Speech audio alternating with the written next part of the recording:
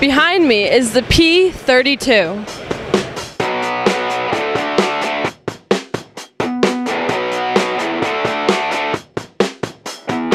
This car is a Chip Foose design team effort.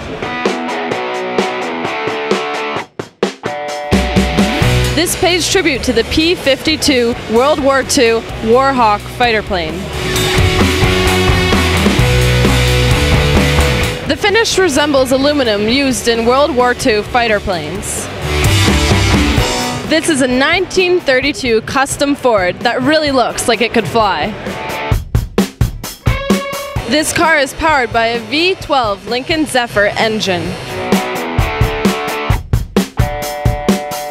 It was built for the Lincoln Electric Welding Company.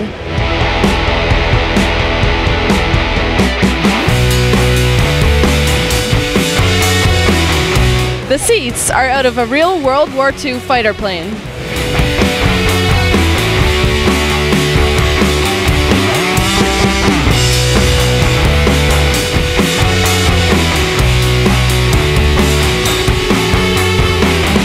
I'm Jessica Kaloran with the SST Cars Show here at the SEMA Auto Show in Las Vegas, Nevada.